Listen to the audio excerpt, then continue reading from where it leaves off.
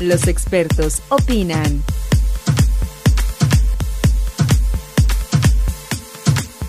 El ajo posee propiedades antimicrobianas que lo convierten en desinfectante contra mordeduras o picaduras de animales e insectos. Rodrigo Mondragón lo utiliza eficazmente contra hongos, llagas, heridas y quemaduras en la piel. Lo ha indicado con éxito en casos crónicos de eczemas y herpes. Dice que el ajo también tiene la poderosa propiedad de embellecer la piel, la fortalece y ayuda a la regeneración celular.